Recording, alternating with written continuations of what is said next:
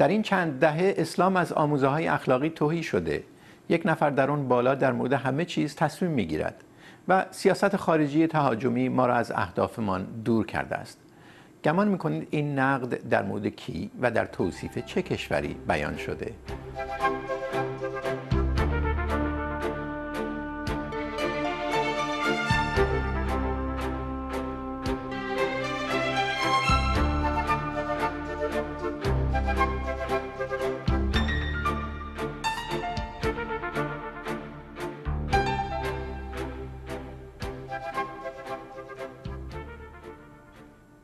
سلام. سیاست خارجی ترکیه نیاز به خواندن شعری توسط رجب طیب اردوغان در مورد عرس نداشت تا به سرخط رسانه ها تبدیل شود.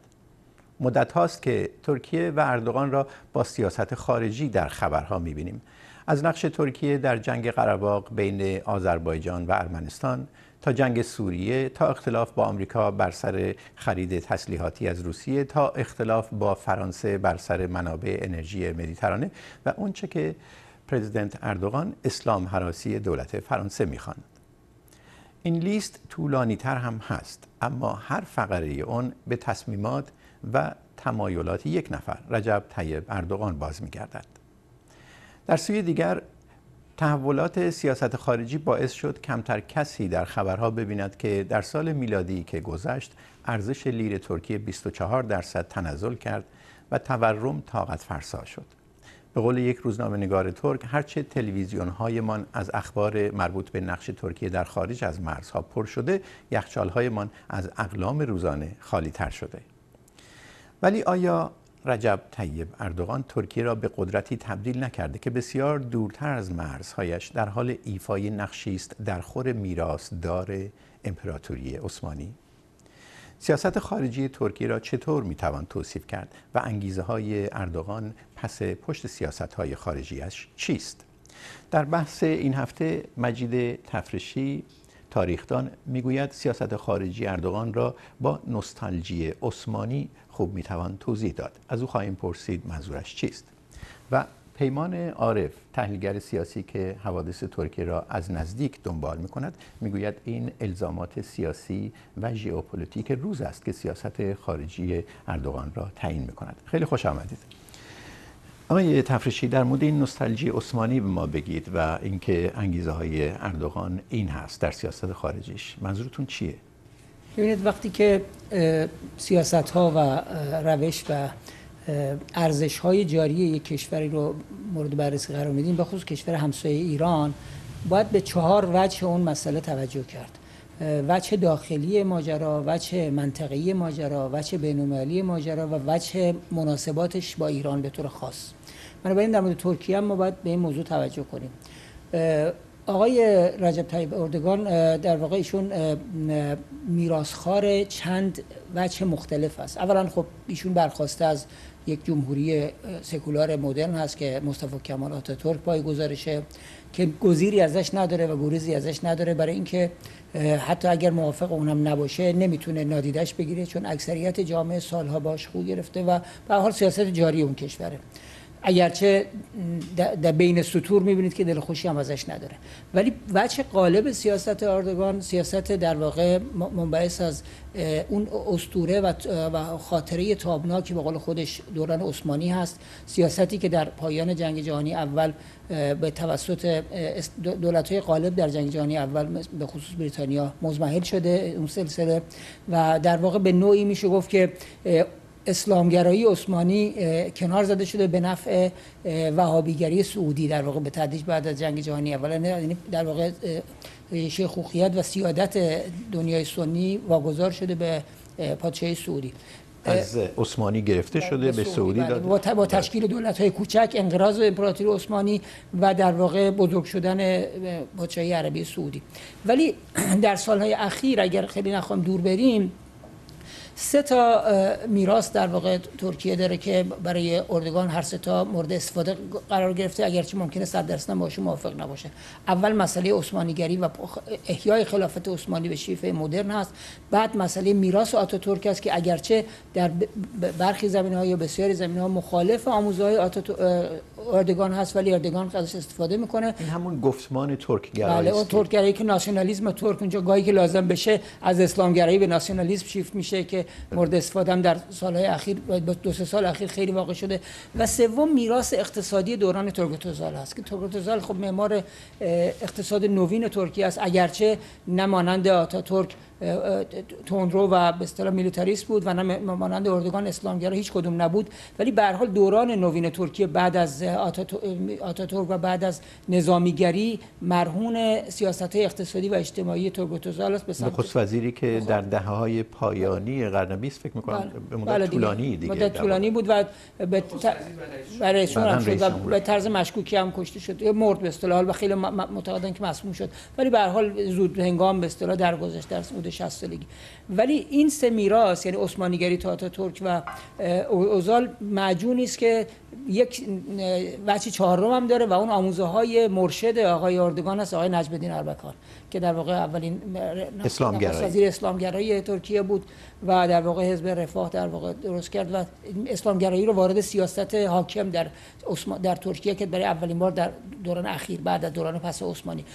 اردوگان با توجه به این میراث تونست در یک دوره نسبتا طولانی در سمت نخست وزیری و اوان ریاست جمهوریش اقتصاد ترکیه رو متحول کنه و به سمت خوبی پیش ببره. ولی وقتی که وارد کشورگشایی شد یعنی در واقع گسترش مرزهای خودش شد در آذربایجان در سوریه در لیبی در جاهای دیگه در مدیترانه عملا از سیاست داخلی تا حد زیادی غافل بود و ناکام بود. تا قبل از این مخالفان سرسخت اردوگان چه کردها بودن چه جمهوری چپ بودن و چه حتی بخشی از راستگره ها حرفی برای گفتن در عرصه داخلی نداشتن برای که او موفق بود و تونسته بود به پیروزی چشمگیری برسه. الان که اون سیاست خارجی تا حد زیادی ناکام مونده در داخل هم نظر اقتصادی همونطور که شما اشاره کردین ناکامی های جدی وجود داره. یک چهارم اقتصاد کوچیک شده. الان دیگه شرایطی که اردوگان دیگه نمی‌تونه پوز پیروزی های داخلیشو بده و در در باد پیروزی داخلیش بخوابه برای فتح فتوحات خارجی احتمالی که می‌خواسته انجام بده و البته هیچ کدومش هم عملا انجام نشده. به من بگید که اردوغان چطور بین این میشه گفت تمایلات یا همجوری که امروزی ها میگن گفتمان های مختلف هماهنگی یا سازگاری ایجاد کنه. برای اینکه مثلا گفتمانی که از ترگوت اوزال میاد گفتمان لیبرال دیگه. نه فقط در حوزه اقتصادی در حوزه سیاسی هم. و موقعی که نخست وزیر بود عملا ترکیه رو آرام آرام به این سو برد. و همین باعث شد زمینه پیوستن به اروپا فراهم بشه دیگه. بعدا که رئیس جمهور شد هم باز تاثیراتش توی سیاست های ترکیه ماندگار بود.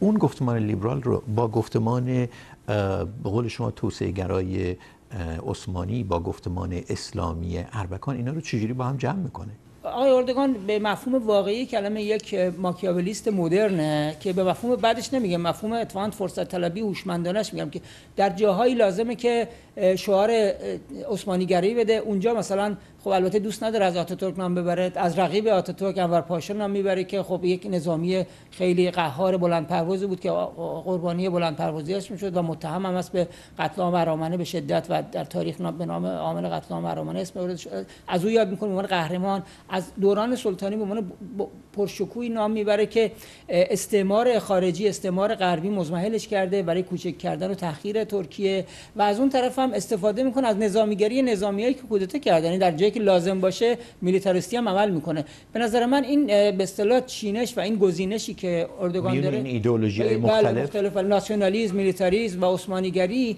در واقع اینا در واقع کمک کرده بهش که تا حالا بمونه و ادامه بده کارشو. در در دشمن دشمنان زیادی هم در طیف خودش داشته ریزش داشته ولی همچنان ادامه میده.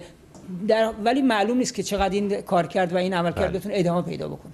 آیا در واقع این ایدئولوژی های گفتمان های مختلف ترک گرایانه اسلام گرایانه و عثمانی گرا اینها بهتر توضیح میده اونچه که اردوغان می‌کنه یا موقعیت های روز که موقعیت های ژئوپلیتیک و سیاسی روز که درگیرشون میشه ترکیه؟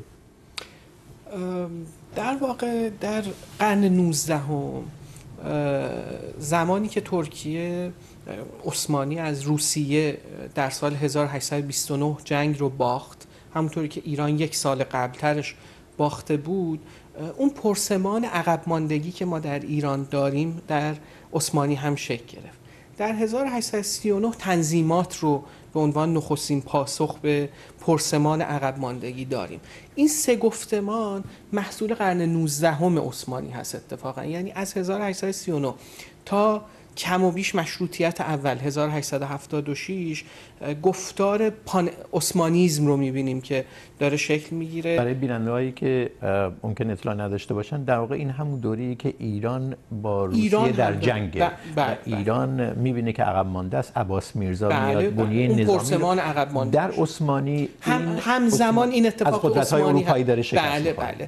بله. در واقع در طول تاریخ قریب به دو سده اخیر ترکیه و عثمانی سه گفتار رو داریم. ترک گرایی، عثمانی گرایی و اسلام گرایی آقای اردوغان به فراخور اقتضاعات سیاست داخلی و اقتضاعات ژئوپلیتیکی در سیاست خارجی داره در واقع بازی می‌کنه به گمان من بین این گفتارهایی که در ترکیه رواج و جریان داشته. و بسیار سیاستمدار پراگماتیستی هم هست. ببینید آقای اردوغان خواستگاهش حزب سلامت ملی در دهه 1970 حزب سلامت ملی آقای اربکان هست. در دهه 90 توسط حزب رفاه که احیای حزب سلامت هست و جریان اخوانی های ترکیه محسوب میشن اینها میاد و به شهرداری می‌رسه.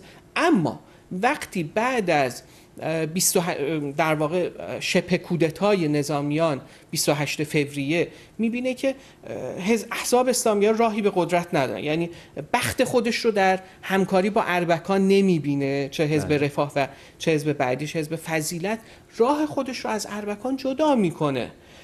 تفاوتی که حزب عدالت توسعه وقتی شکل می‌گیره با حزب فضیلت و بعد حزب سعادت در واقع. یعنی اون سنت اصلی اربکان داره این است که عدالت و توسعه غربگراست اروپاگراست سعی می‌کنه یک ظاهر بسیار لیبرال دموکرات یک ظاهر راست میانه از خودش ارائه بکنه. اون وجوه اسلامگرایی ضد امپریالیستی و نمی‌دونم ضد غربی اربک و اخوانی اربکان رو می‌گذاره کنار. کار بله. دیگری هم بله. می‌کنه. با فتولا گولن همکاری بله. می‌کنه در ده سال حال حاضر برسیم الان چرا این شعارها رو کنار گذاشته. می‌خوام ببینم انگیزه های سیاست خارجی کنونیشو چی می‌بینید الان؟ آقای اردوغان بعد از بهار عربی احساس کرد که در واقع با گفتار اخوانی می‌تونه که قدرت مسلح جهان اسلام بشه.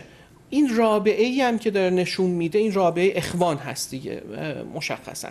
و خب یهویی سه چهار کشور رو هم در واقع به ویژه مصر و تونس رو هم به دست آوردن. اما یه اتفاقی در سیاست داخلی ترکیه افتاد و اون هم تغییر قانون اساسی و شکلگیری نظام ریاستی بود. در نظام ریاستی که حزب راست در واقع راست افراطی حرکت ملی گرا مسبب اون شد. آرزوی اردوغان برای رئیس جمهور ریاستی شدن رو محقق کرد.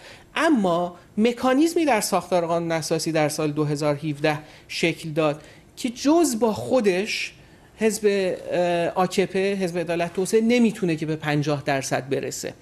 یعنی در حال حاضر برای تداوم قدرتش محتاج هست که به حزب ترک, ملیگرای ترک افراطی حرکت ملیگرا و آقای دولت باخچلی متکی باشه. آیا. و در واقع پالیسی میکر سیاست خارجی الان آقای دولت باخچلی هست به گمان من. به این ترتیب آیا سیاست خارجی ترکیه رو در پرتو ائتلاف اردوغان با ملیگرایان تندرو میشه توضیح داد؟ بله ملیگرایان دست راستی ترک اسلامگرا در واقع بله. که این یه تفاوتی با اون ملیگرایی چپ داره که بهش میگیم Ulusalcılık. اون معطوف به nation state ترکیه هست که آتاتورک ساخته. این در واقع بله. این معطوف به در واقع امپراتوری عثمانی پان‌تورانیزم اون خیال یا در واقع رویای توران بزرگ. اینها هم باز با هم بله، متفاوت. خوب. آیا به این ترتیب میشه گفت که اردوغان یک سیاستمدار پراگماتیک حداقل در سیاست خارجی؟ یا اینکه چنین چیزی نمیشه گفت؟ چون اگر پرگماتیک بود ترکیه رو درگیر مسائلی نمی‌کرد که الان واقعا میشه گفت به مخمسه تبدیل شده. ببینید پاسخ به سوال شما خیلی دشواره. برای اینکه تعریف پراگماتیسم خیلی تعریف مشخصی نیست. پراگماتیسم در چارچوب مقتضیات و محدودیت ها معنی پیدا می‌کنه. اگر از من و شما بپرسن ممکنه بگیم که پراگماتیست نیست برای اینکه مسائل اقتصادی و اجتماعی کشورش رو اه، تضعیف کرده برای کشورگشایی و لشکرکشی خارجی. ولی از خود اردوغان و طرفدارانش اگه بپرسید اونا معتقدند که تجربه گذشته یعنی درس تجربه و سیلی روزگاری که ما رو به اینجا کشونده. شما توجه داشته باشین که چند دهه ترکیه تلاش کرد و هر گونه مماشاتی رو کرد برای پیوستن به اتحادیه اروپا. ولی اتحادیه اروپا عملا نذاشت این صورت بگیره. و ترکا تعدیلاتی کردن چه در مسئله مجازات اعدام چه در مسئله حقوق مدنی تا اونجا که البته زورشون می‌رسید و توانش داشتن. ولی این کار صورت نگرفت. آخر سرم بهشون گفتن که اتحادیه اروپا کلوپ مسیحیه که جای شما نیست. شما چندین میلیون نیروی کار ارزون جوان دارین که پدر اروپا رو در میاره اگه بخواد و نذاشتن. در این شرایط در واقع ارد- اردوگان سیاستش یک واکنشی به این موضوعه. و لشکرکشیش هم در واقع ترکیبی از همونطور که گفتن بین ناسیونالیسم و عثمانی و احیای عثمانیگریه. و این یه دوره هواخواه داشته. اردوگان دیکتاتوری نیست که به زور در ترکیه حکومت کنه.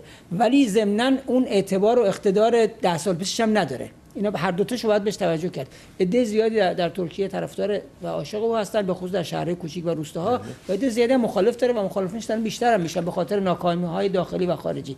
در در این شرایط به نظر می‌رسه که اردوغان یک سیاستمدار پراگماتیستی هست که ضمنا با آموزه های خودش هم پیش میره. مسئله پان‌تورکیزم و پان‌تورانیزم تو ایران مستقل و متحد برای هواداران راستگرای یا متحدین راستگرای اردوغان. این یه موضوع جدیه که بخشی از پراگماتیسم عثمانیگری و ترکیه مدرن هر دوش و هیچ مغایرتی اتفاقا با هم نداره. این شعری که در مورد ارس خوند رو باید در پرتو این پان‌تورانیسم و ترکگرایی و توسعه طلبی تحلیل کرد یا واقعا چیز مهمی نبود و بد خونده شد در میان دولت مردان ایران؟ من فکر می‌کنم هیچ هیچ یک از افعال آقای اردوغان رو نبایستی که دست کم گرفت و گمان کرد که چیز مهمی نبود و زیادی جدی گرفت رو موافق نیستم. و از سوی دیگه فکر می‌کنم که خیلی هم رفتاری نبود که به متحدین سیاست داخلی خودش داشت پیغام می‌داد. در حق واقع ببین اون شعر رو آقای اردوغان کی خوند؟ شعر رو 48 ساعت قبل از تصویب تحریم های کتسا در واقع آقای اردوغان در باکو خوند. و اینا تحریمایی بودن که تحریم های همکاری با دولت های دارای تخاصم با امریکا به خاطر اس 400 و همکاری با روسیه سپر دفاع ضد موشک بله بله. که خب اعمال هم شد تحریم های کتسا آقای اردوغان از یکی دو ماه مونده به اعمال تحریم های کتسا به گمان من یک یهویی در واقع شروع کرد و اثر با رأی آوردن بایدن چون بایدن سراحتا اعلام کرده که من تحمل نمی کنم یک سخنرانی در ماه دسامبر پیش داره. صراحتا گفت من اردوغان رو تحمل نمی کنم و تم... حتی جمله که خیلی بازتاب پیدا کرد در رسانه ترکیه این هست که من با مخالفان و اپوزیسیون ترکیه همکاری می‌کنم برای تغییر اردوغان. آقای اردوغان شروع کرد چیزی گفته واقعا؟ بله تغییر بله اردوغان. بله بله. یا اینکه منظورش این بوده که تحمل نمی‌کنه که یک عضو ناتو بره سپر دفاع ضد موشکی از روسیه بخره. آقای بایدن در یک think tank ی که من چون ممکنه اشتباه بکنم اسم think tank رو الان عرض نمی کنم در ماه دسامبر گذشته در واقع lecture ی داره که صراحتا میگه ما بایستی اگر من رأی بیارم بایست با اپوزیسیون ترکیه همکاری بکنیم برای تغییر اردوغان نه تغییر از راه کودتا از راه در واقع انتخابات و تغییرات دموکراتیک. و این اتفاقا وقتی که آقای بایدن رأی آورد آکپر بسیار لرزوند بسیار ترساند و به یک باره یک شیفتی کرد برای بازسازی رابطه هم با امریکا هم با اسرائیل.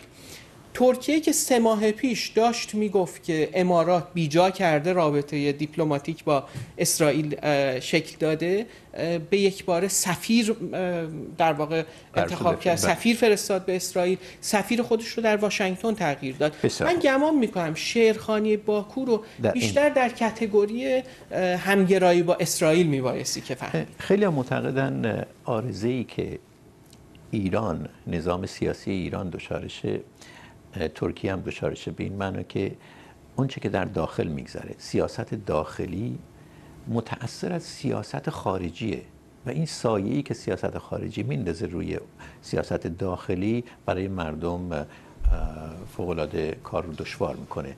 از جمله همین تحریم هایی که داره اعمال میشه از جانب آمریکا علیه ترکیه. در مسئله اون شرخونی یا موضوع عرض که گفته شد در ایران خیلی نگاه ها وجود داره که این چیز مهمی نبوده علیه ایران نبوده. بعضی خیلی علیه ایران گرفتن. بعضی هم سعی کردن یه جوری توجیه کنن و یه جوری به اصطلاح مدیریت بحران به قول امروزی ها بکنن.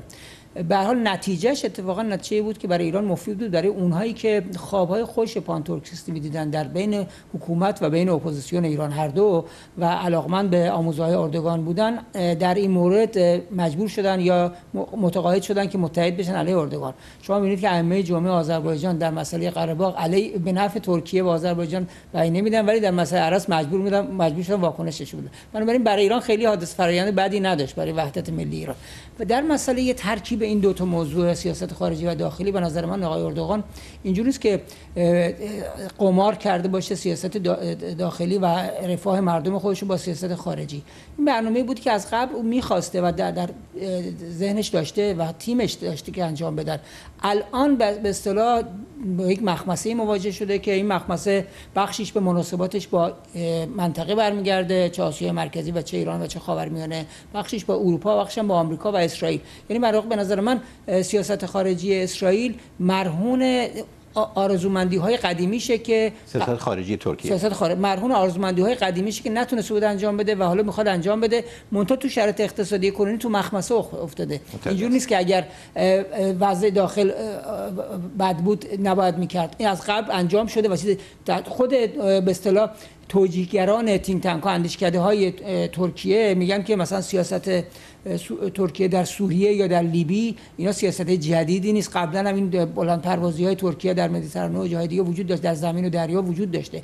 و علی الان امکان بروز پیدا کرده. برای نمیشه مستقیما وصلش کرد که چون سیاست خارجی اونجوری شده در داخل هستم آقای عارف برداشت من از حرفهای آقای تفریشی اینه که سیاست خارجی اردوغان رو میشه بر اساس همین آرزومندی همین نوستالژی عثمانی بیشتر توضیح داد. اما برداشت من از صحبت های شما اینه که آقای اردوغان چند تا کارت داره و بسته به وضعیت موجود هر کدوم از این کارت ها رو روی میز می‌گذاره. البته مغایرتی هم می‌تونم هم نداشته باشه این دو بحث. اگر نداره چجوری میشه گفت که نوستالژی عثمانی در واقع دست بالا رو می‌گیره در بسیاری یه موقعی توان ابرازش وجود نداشته الان توان ابرازش داره. خب.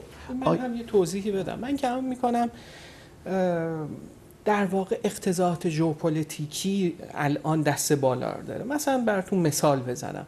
به ویژه اقتضائات ژئوپلیتیکی انرژی چه در شرق ترکیه یعنی در قفقاز و چه در مدیترانه. مثلا جنگ قره خیلی ها گمان کردن که آرزومندی ها و مثلا این مسائل مبنا هست. ولی از یک نکته ما غافل هستیم. خط لوله تاناپ. میدان نفتی شاه دنیز کاهش وابستگی ترکیه به گاز روسیه. در بعد از افتتاح خط لوله تاناپ در سال 2019 واردات گاز ترکیه و از طریق ترکیه به اروپا از روسیه از 53 درصد آمد به 30 درصد و حتی امسال فکر می‌کنم کمتر. خط لوله شاه دنیز میدان نفتی شاه دنیز باکو باکو تفلیس جیهان. یعنی اقتضاعات انرژی رو در اینجا داریم. خب هم خط لوله نفت هم خط لوله گاز از کجا رد میشه؟ دقیقا از مرز ارمنستان. یعنی اونجایی که منطقه تاووس یا توووس که درگیری های ماه جولای درش اتفاق افتاد. و این خط لوله بسیار در نقطه یعنی اون گلوگاه انرژی ترکیه که الان داره به اون گلوگاه انرژی تبدیل میشه در منطقه بود که در واقع در دست ارامنه بود. ارمنی ها بسیار نزدیک بودن. اینکه گفته میشه که حالا با این کریدوری که باز میشه ترکیه می‌تونه به آسیای میانه به آسیای میانه راه پیدا بکنه. البته خب این توضیح رو هم در یک جمله بگم که اون آرمان تورانگرایی در آسیای میانه خیلی اتفاق مورد استقبال قرار نگرفت. رسانه‌های ترکیه در جنگ قره باغ مکررا منتقد این بودن که چرا از همه جا صدا در میاد.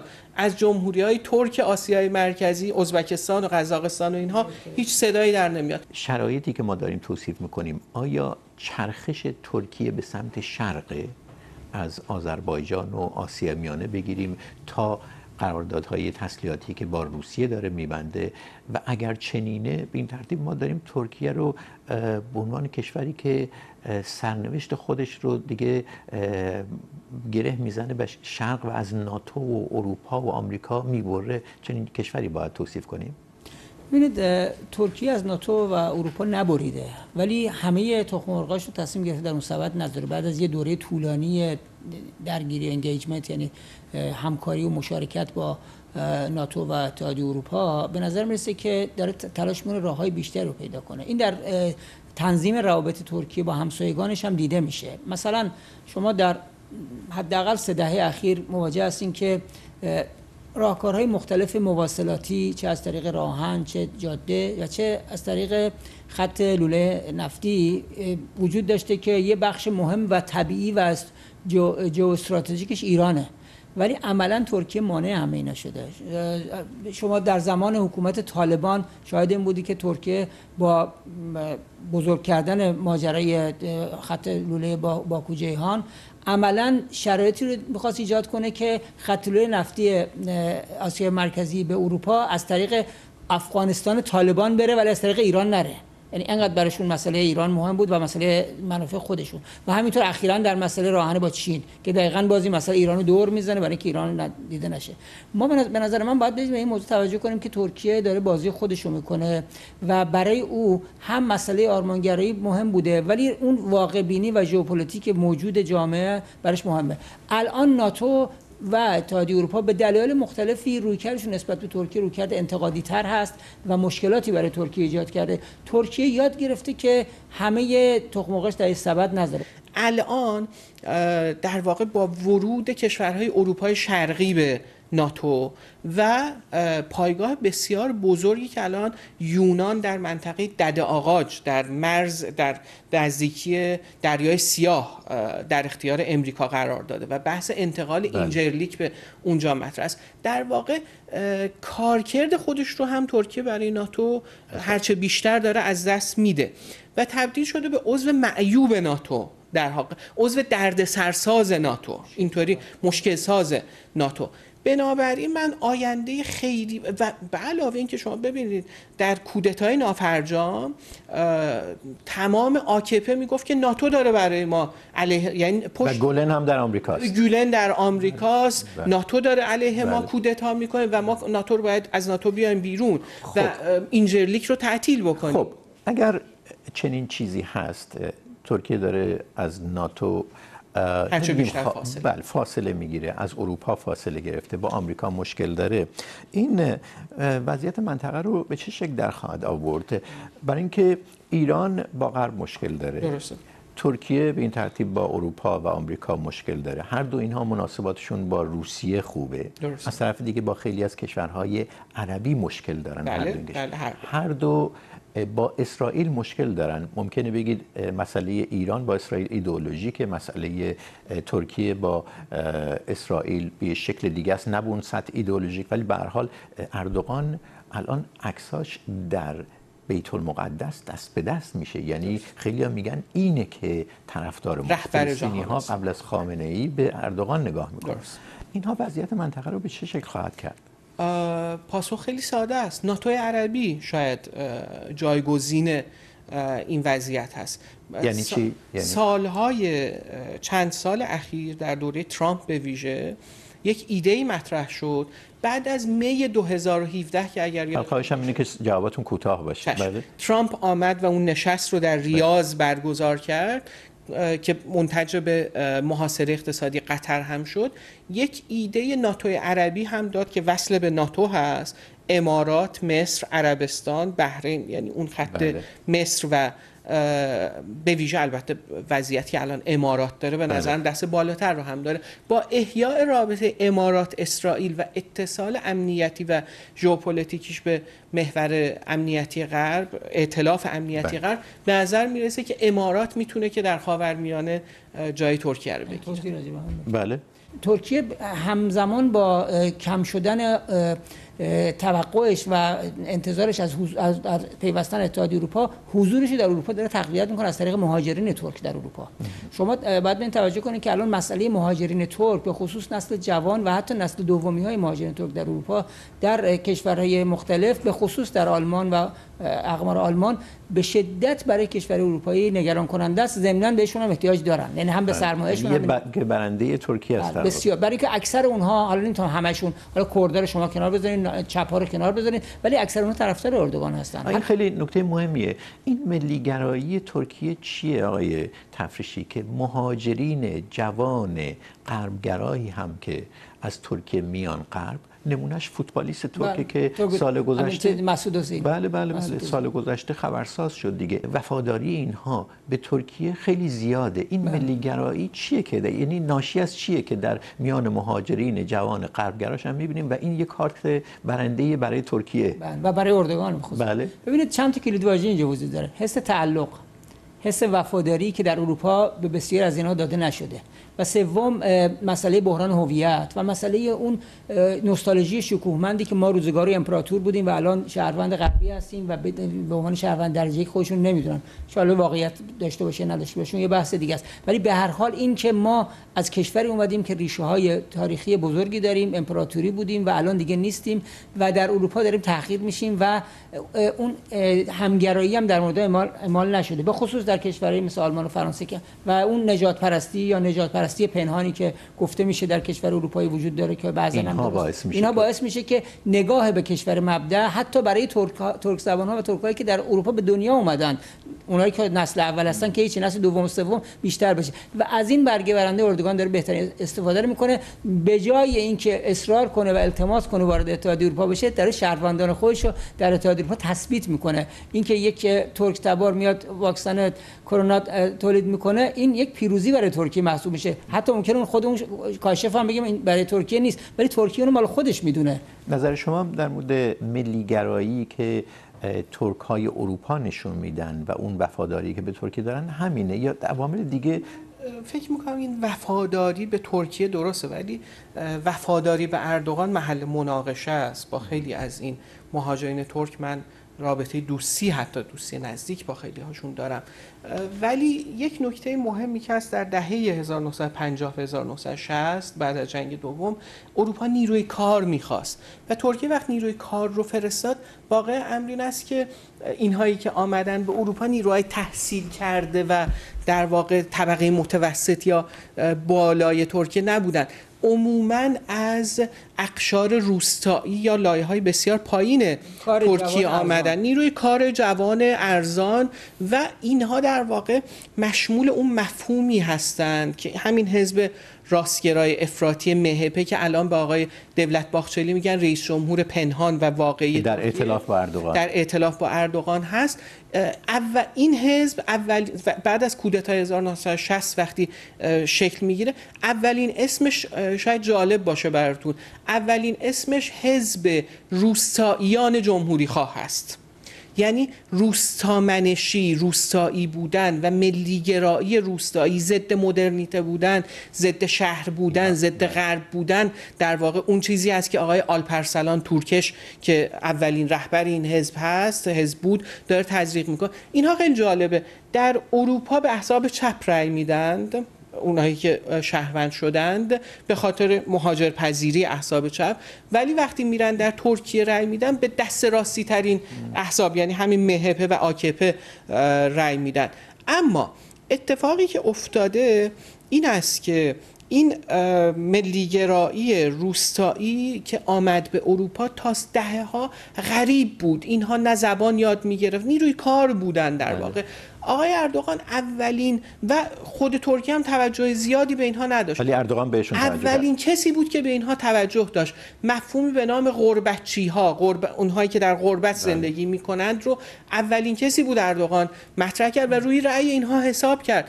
و در انتخابات 2018 دیدید یا در رفراندوم 2017 وزراش رو میفرستاد در بله. هلند و آلمان که سخنرانی بکنن و به اون درگیری دیپلماتیک ختم می‌شد. ولی با فشار و زور و درگیری با دولت آلمان و هلند که اصلا وزیر بهداریش رو دولت هلند گرفت و اخراج کرد دیپورت کرد اون خانم بله.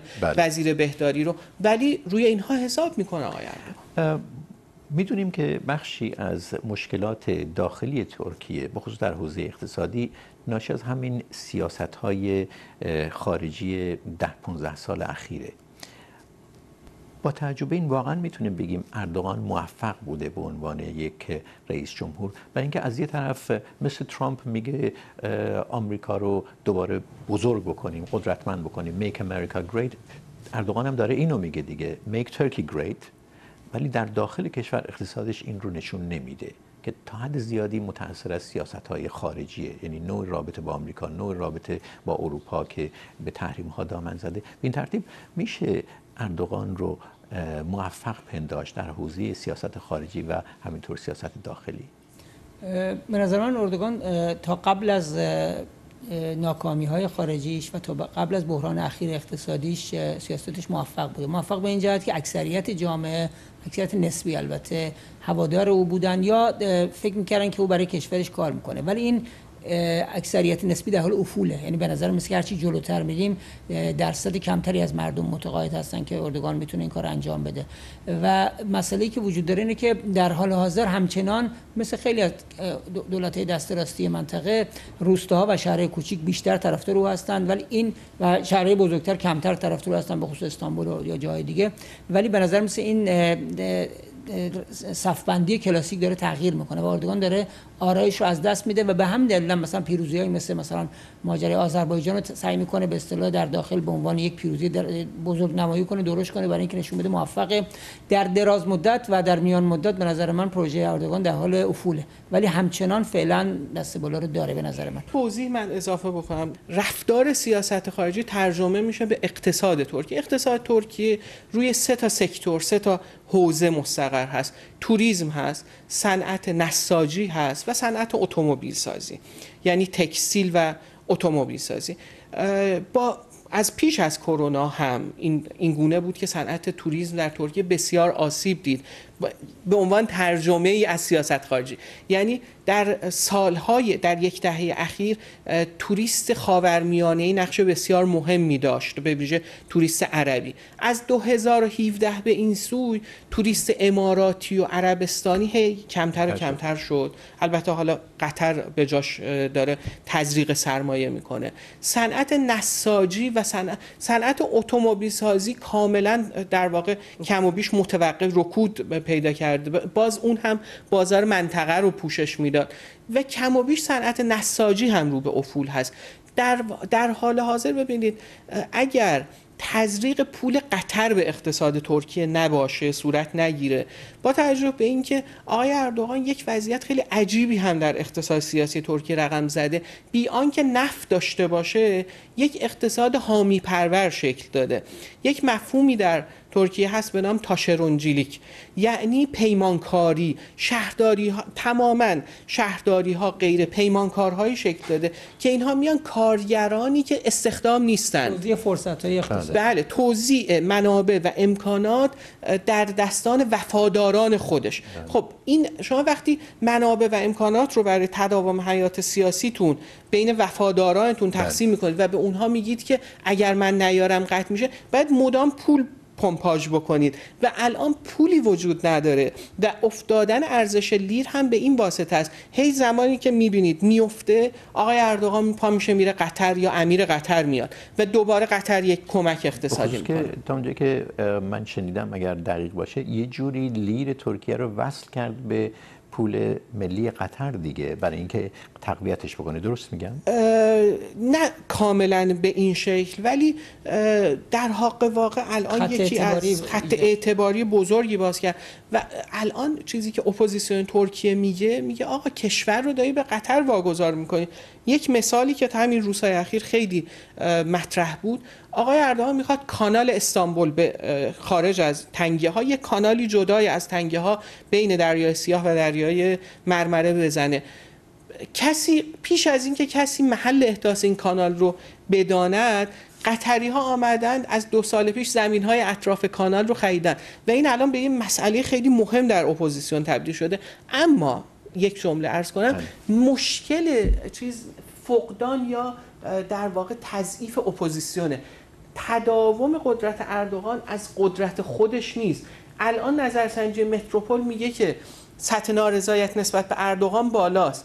ولی سطح کسانی که قویا میگن به حزب جمهوری خواه رای خلق رأی میدن هم خیلی نسبت به گذشته تغییر نکرده حزب اپوزیسیون دموکرات حزب اصلی اپوزیسیون بله دموکرات. بله بخش زیادی بلاتکلیفا هستن. بله. یعنی این. نشون دهنده ضعف اپوزیسیون هم هست. ما اشاره به اونچه که آقای اردوغان در آذربایجان خونده شعر عرض کردیم. ولی بهتر برگردیم به موضوع رابطه ایران ترکیه اگر ترکیه چنین وضعیتی داره و برای ناتو دیگه یک عضو موثر نیست روابطش با روسیه داره گسترش میده به سمت شرق داره رو می‌کنه آیا این تغییری نباید در سیاست ایران نسبت به ترکیه بده؟ این دو دو تا قدرت منطقه‌ای هستن.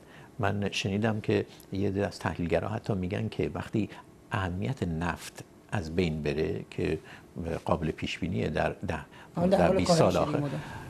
کشورهای قدرتمند عربی اهمیتشون رو از دست میدن. یا لاقل اون بخشی از اهمیت که مربوط به اقتصاد نفتی رو از دست میدن. در نتیجه دو قدرت منطقه ترکیه و ایران وضعیت شاید بهتری پیدا بکنن. در چنین شرایطی آیا ایران نباید این اوضاع ترکیه و چرخشش رو یا شروع چرخشش رو مهم بدونه و در سیاست خارجیش این رو ترجمه کنه؟ آقای کریمی من حدود 20 سال پیش توی کنفرانسی بودم که آقای سعود الفیصل سخنرانی می‌کرد. می‌دونید 40 سال وزیر خارجه سعودی بود و مرحوم شده البته چند سال پیش. یه جمله گفت در رابطه با روابط سعودی و ایران که دقیقا آغاز پاسخ به شماست. گفتش که ایران گفت ایران برادر و همسایه عزیز ماست و مردم برادر و همسایه‌شون خودشون انتخاب نمی‌کنه و بهشون تحمیل میشه.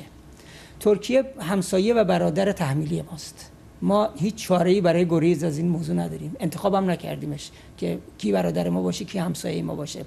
وضعیت ایران با ترکیه ترکیه قبل از اردوغان ترکیه اردوغان و پس اردوغان اینجوریه. ایران مشکلات زیادی از طرف ترکیه داشته. همیشه در رابطه اقتصادی با ترکیه ترکیه به ایران کمک کرده ولی ده برابرش خودش سود برده. در مواصلات ایران دور زده در انرژی ایران دور زده. با علیه ایران توطئه کرده ولی ایران ناگزیر هست که با ترکیه روابط مناسب و راهبردی داشته باشه.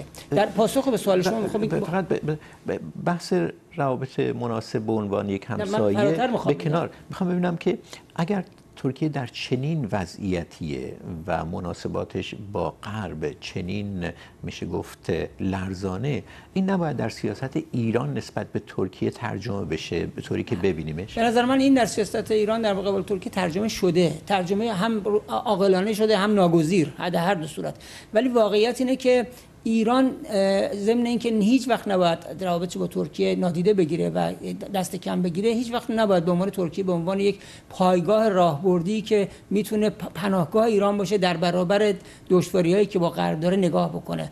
به حال یک ازدواج مصلحتی بین ایران و ترکیه همیشه لازمه و ضروریه. تا حدی هم الان وجود داره می‌تونه بیشتر هم بشه. اخیرا تو یک مقاله کوتاهی اصرار شده که ایران صحبت اردوغان رو جدی بگیره در مورد پیمان های منطقه‌ای و با اردوغان پیمان نظامی منطقه‌ای مثل شبه ناتو یا شبه اتحادیه اروپایی داشته باشن قبلا هم داشتن در پیمان بغداد. سنتو. به نظر من می‌رسه که ایران این مسئله رو جدی گرفته. لشکرکشی های اردوغان در آذربایجان یا در سوریه یا در لیبی به این مسئله لطمه زده. ولی هر دو کشور به هم نیاز دارن. مهمترین مسئله برای ایران در این مناسبات در از نگاه راهبردی اینه که چی میده و چی میده می‌گیره. چقدر میده و چقدر می‌گیره. این چیزیه که به نظر من ترکیه بد بازی کرده با ایران و ایران می‌تونه و باید بهتر بازی آیا واقعا اون پیشنهاد ترکیه رو ایران جدی گرفته در سفری که اردوغان با آذربایجان داشت در کنار اون شعری که خوند یک پیشنهاد مهم داد. گفت یک پیمان منطقه‌ای از ترکیه و ایران و آذربایجان و ارمنستان هم حتی نام برد. یکی دو تا کشور دیگه بله گرجستان رو هم نام برد. یه پیمان منطقه‌ای شکل بگیره از اینها. خیلی هم میگن این یه پیشنهاد خیلی مهم بود که در این جنجال های مربوط به شعر عرس گم شد. در واقع ببینید یه اتفاقی افتاده در خاورمیانه و منطقه. پیش از اینکه اروپایی ها به وستفالیا برسند بعد از جنگ به یک نظم و نسق جدیدی برسند در سال 1639 در خاورمیانه ما با پیمان زهاب یا قصر شیرین به یک وستفالیایی رسیدیم. بین ایران بین و ایران و عثمانی. بله. در 17 می 1639 ولی این وضعیت وستفالیای خاورمیانه در جنگ اول به گمان من از بین رفت اون عثمانی از بین عثمانی در واقع اون بله. زمانی که بله. با ساکس پیکو و خانم گرترود بل معروف به گرترود مرزکش در واقع این خطوط بله. مستقیم که می‌بینید همش حاصل خانم گرترود بل هست این آنومی رو ما از جنگ اول بعد داریم هنوز. یعنی خاورمیانه به یک ثبات حاصل از توازن قوا نرسیده. ولی اگه به سوال برگردیم از طرفی ایران و ترکیه دو قدرت منطقه‌ای هستند که اهمیتشون هم شاید بیش از این بشه بر اثر تضعیف دیگر نیروهای قدرت های نفتی بله بخصوص قدرت های نفتی. از طرف دیگه همین شعر عرض به گفته شما و مهمان دیگه نشون میده که ایران دلایلی برای مزنون بودن به ترکیه یا حداقل مزنون بودن به اون دست از سیاستمداران نوستالژیک ترکیه داره. به این ترتیب چجوری باید این تناقض رو حل کرد؟ قدرت منطقه‌ای بیخ گوشته باید باهاش کنار به به خصوص که از متحدان غربیش داره دور میشه از طرف دیگه بهش مزنون هستی. اگر من پالیسی میکر ایران بودم راهی رو می‌رفتم که 600 سال پیش اوزون حسن آقوینلو رفت. اوزون حسن آقوینلو آمد و متحد شد با قدرت وقت غرب. خیلی کوتاه یعنی بگید کی بود؟ اوزون حسن؟ آقوینلو معروف است. هممون در کتاب های تاریخمون خوندیم. پدر بزرگ شاه اسماعیل صفوی و بله مهمترین بله. چهره بله سلسله بله. آقوینلو. شاید خیلی ها ندانند که پیش از چالدران اوزون حسن در واقع به جنگ عثمانی رفت و در منطقه در واقع منطقه آردهان تا ارزنجان ارزینجان به تعبیر ترکی جنگید با عثمانی. ولی برای این کار با قدرت وقت غرب یعنی ونیزی ها متحد شد. ونیزی ها تلاش کردند که به ایران توپ و تفنگ و سلاحهای گرم برسونن. من اگر پالیسی میکر ایران بودم در حال حاضر با توجه به اینکه واقعا این است که ایران هر چقدر هم ضد غرب بشه به خاطر فاصله ژئوپلیتیکی با غرب داره آنچنان نمی‌تونه تهدید کننده غرب باشه. ولی خطر به ویژه بعد از برگزیت که الان بریتانیا رو هم ترکیه داره در اتحادیه اروپا از دست میده در واقع تنش بین ترکیه و اتحادیه اروپا به شکل بسیار فزاینده در حال نتیجه که می‌گیرید در ارتباط با سوال من اینه در رابطه با سوال شما اینکه در وضعیتی که اتحادیه اروپا و اساسا اروپا این چنین درگیر هست و فزاینده تر هم درگیر خواهد شد اینها قطعا پشت جبهه ترکیه رو براش اهمیت هرچه بیشتری قائل خواهند بود. و حتی من با یکی از دیپلمات های اتحادیه اروپا چند وقت پیش صحبت می‌کردم ایشون می‌گفت که به خدا اگر ایران دست از سیاست ضد آمریکایی و حالا بیشتر ضد اسرائیلی یکم برداره ما الان به شدت نیاز داریم به یک وضعیت راهبردی تر با ایران. که من مناسبات تنشانشون با ترکیه رو تا حدی جبران کنه که جبران بکنه یک توازن ببین ایران در خاورمیانه تنها قدرتی است که توازن بخش خواهد بود. توازن مناسبات بین ایران و ترکیه کاملا مرتبط با روابط ایران با غرب اروپا آمریکا و ایران با کشورهای عربی. یعنی هر چی که ایران از اون کشور از اون دو قطب فاصله پیدا کنه مجبوره و محکومه که با ترکیه روابط رو بهتر کنه. اگر روابط با اون بهبود پیدا کنه اون وقت نیاز به ترکیه کمتر میشه. بنابراین این صد درصد در اختیار ایران نیست که در شرایط مساوی و آسودگی تصمیم بگیره. این استرار هست که وضعیت تنظیم روابط به ترکیه رو به ایران تحمیل می‌کنه تحمیل می‌کنه بسیار خوب. خیلی پیرو به آقای تفریشی یک جمله اضافه بکنم. زمانی که برجام امضا شد من اون موقع ترکیه زندگی می‌کردم ترکیه بسیار ناراحت بود از رفع تنش بین ایران و غرب. به واسطه اینکه این رفع تنش تبدیل به قدرت خواهد شد قدرت ایران. قدرت ایران خواهد شد. یعنی ترکیه اینقدر نگران قدرتگیری ایرانه. بله، بله، چون خیلی هم میگن این نگرانی رو شاید اسرائیل داره این نگرانی رو عربستان داره ولی ترکیه هم واقعا نگران این هست که ایران یک قدرت منطقه‌ای باشه. ما, ما تداخل آقای کریم با ترکیه تداخل ژئوپلیتیکی داریم و اصلا ربطی به این که البته خب سیاست گذاری ها می‌تونه تشدید بکنه یا تخفیف بده. ولی واقع امر این است که قدرتمند شدن ایران ایران به مسابه ایران به عنوان یک بازیگر روابط بین الملل. خواهناها به معنای تضعیف بازیگری به نام ترکیه در روابط بین الملل خواهد بود. زمانی که آقای در واقع ترامپ رأی آورد صبحش اون صبحی که به وقت ترکیه اعلام شد تحلیلگرای نزدیک به عدالت توسعه بسیار بسیار خوشحال بودند. یکی از علل خوشحالیشون این بود که این رأی آوردن ترامپ باعث در واقع کنسل شدن برجام خواهد شد و ایران از این قدرتگیری که 2015 2016 اوج قدرت منطقه ایران بود در سوریه ترکیه رو کامل عقب زده بود و اینها بسیار خوشحال بودن. قدرتگیری ایران ژئوپلیتیک ایران و گشایش ژئوپلیتیک ایران به سمت غرب به سمت مدیترانه. به یعنی ترکیه راهی جز ترکیه یعنی به سمت عراق و سوریه گشایش به سمت مدیترانه. در واقع سرمایه ژئوپلیتیکی ترکیه در تنگنا قرار میده. من یه جمله اضافه کنم خیلی کوتاه.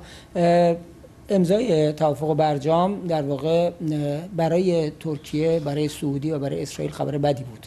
برای اینکه حالا ما سعودی و اسرائیل نمی‌خوام وارد موضوع بحث من ولی برای ترکیه ایرانی عزیز هست که محتاج ترکیه باشه. و پیمان برجام اگر یا توافق برجام اگر درست انجام می‌شد و دو طرف به اصطلاح تا آخر باش پیش می‌رفتن این نیاز و استرار ایران به رو آوردن ترکیه رو کمرنگ می‌کرد و این خبر خوشی برای ترکیه نبود. بسیار خوب خیلی ممنونم. به آخر پرگار این هفته می‌رسیم. ممنون از شما که این بحث رو دنبال کردید و همینطور از مهمانهای برنامه. مجید تفرشی و پیمان عارف. پرگار را پیش از پخش از تلویزیون روی یوتیوب منتشر می‌کنیم تا اگر مایلید اون رو چند زودتر ببینید. هم پرگار تلویزیونی و هم پادکست یعنی نسخه شنیداری پرگار در وبسایت بی بی سی فارسی منتشر میشه. پادکست برنامه که اندکی طولانی تره و صحبت خودمونی آخر برنامه به اون اضافه میشه رو در کانال تلگرام بخش فارسی بی بی سی هم می‌تونید دریافت کنید. ضمنا این چند دقیقه اضافه پادکستی رو به طور تصویری روی اینستاگرام بی بی سی فارسی هم می‌تونید ببینید. روز و شب بر همه شما خوش.